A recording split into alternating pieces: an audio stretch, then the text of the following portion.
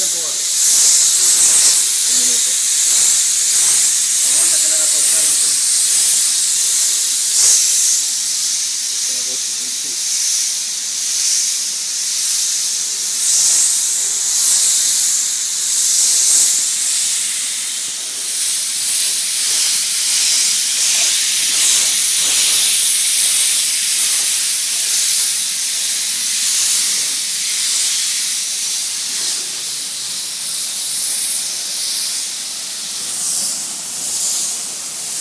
So press this. Okay, I'll be right there.